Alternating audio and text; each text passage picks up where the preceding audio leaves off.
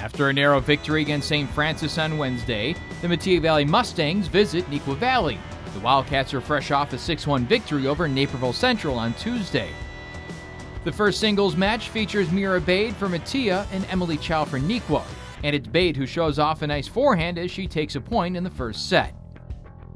A little later on, she shows the backhand as well, and Baid wins the match in two sets.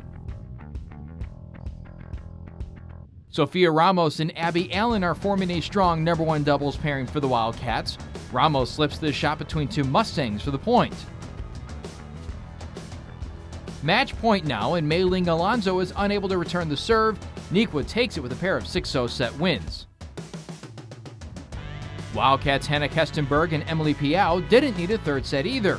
Kestenberg serves, but it's mishandled by Varsha Miral. After a long rally, the Mustangs' return hits the net and Neuqua wins at number two doubles as well. In the number two singles match, Olivia Lee is in control. Lee's backhand is too much for Alicia Aria to return, and Lee wins in two sets.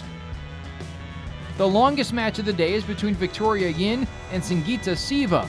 Early on, Siva slams a backhand across the court out of reach for Yin. Yin, though, gets the last laugh as Siva's return hits the net, and Yin wins in straight sets. Neuqua takes the match overall 6 to 1.